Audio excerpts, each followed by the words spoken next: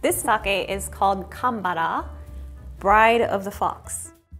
The name Bride of the Fox is taken from the folklore, folklore, folklore. The name is taken from a local folklore of the Fox Bride procession and they have a annual Fox Bride festival every year there. Foxes in that area have a relationship to the god of rice. So whenever they had a fox sighting in the area, they knew that they were gonna have bountiful rice harvest that year.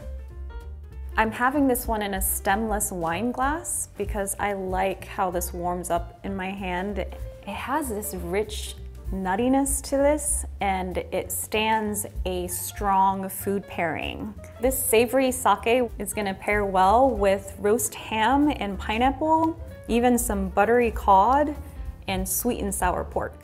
It even pairs well with something classic like fried chicken.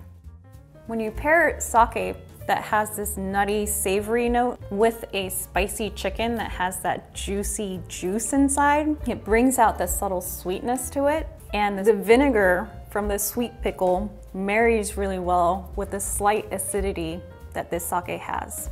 I like the idea of having this for casual gatherings because it goes well with anything that goes with beer.